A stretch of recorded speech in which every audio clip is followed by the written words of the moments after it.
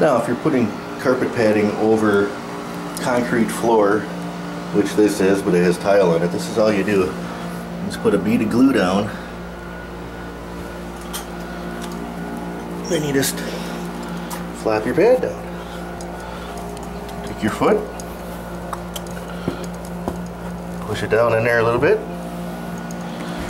That's all you gotta do.